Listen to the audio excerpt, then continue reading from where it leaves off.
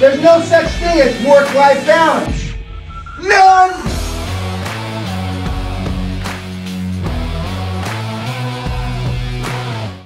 Learn to be super successful. Subscribe to my channel, Meathead.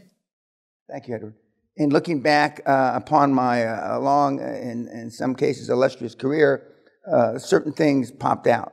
And I alluded to one of them yesterday when I talked about the 16 or 17 guys, and uh, the, of two of which I'm chairman, the other I'm not chairman, that have done very, very well, exceptionally well during the Corona period, doing as many as 11 deals during Corona alone. And of course, uh, uh, Andreas uh, and uh, Thomas done seven or eight and nine, uh, and Gerard doing seven or eight. Um, the, uh, but they all believed. They believed in, well, they say me, but they believed in the system first.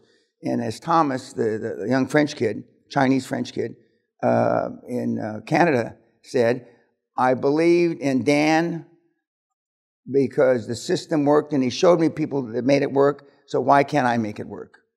In words to that effect. Uh, the uh, I think, therefore I am kind of thing.